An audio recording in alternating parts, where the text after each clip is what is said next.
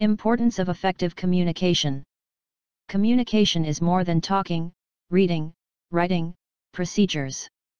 Communication is also exchanging ideas, information, and knowledge between individuals, and between crew and management ashore. Ability to convey information by word of mouth and slash or by written communication is important to the safety of ship's crew, visitors, and passengers and to the well-being of crews. Challenge for the DPA is to create an environment of openness and just culture.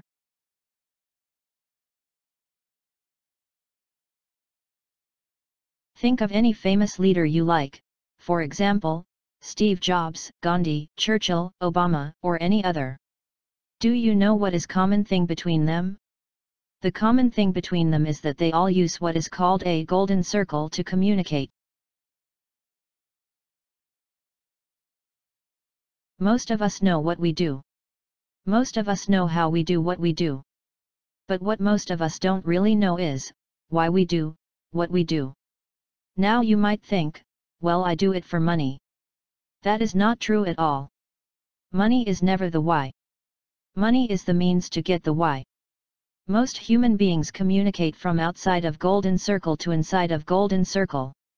The difference with leaders is that they communicate from inside to outside of the golden circle. Let's take an example. Let's imagine that as a DPA you have to instruct the master of a vessel to carry out the SMS review. In normal circumstances, you would communicate with him as follows. Dear Captain, please review the SMS, i.e.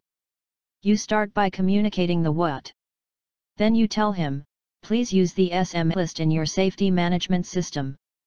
i.e. you tell him the how. Then you tell him, this is important for the external ISM audit coming up. i.e. you tell him the why. This was an example how most people communicate. From outside of the golden circle to inside. Next time change your communication style to start from inside of golden circle to outside. So, using the same example you should communicate as follows.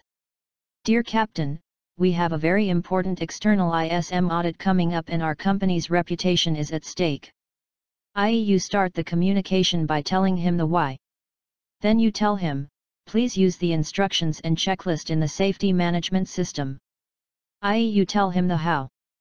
Then you tell him, please do a thorough review of the SMS. i.e. you tell him the what. Try the golden circle method in your workplace or personal life and you will see that it makes a big difference.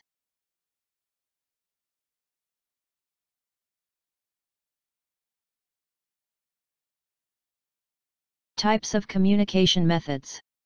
People communicate, both verbally and non-verbally. Surprisingly 93% of our communications are nonverbal. Some of the types of nonverbal communications are as follows. 1. Kinesics. Kinesics is the term used for communicating through various types of body movements, including facial expressions, gestures, posture, and stance. 2. Oculesics. Oculesics, a subcategory of kinesics, is the study of eye movement, eye behavior, gaze, and eye-related nonverbal communication. 3. Proxemics, communicating through the use of space is known as proxemics.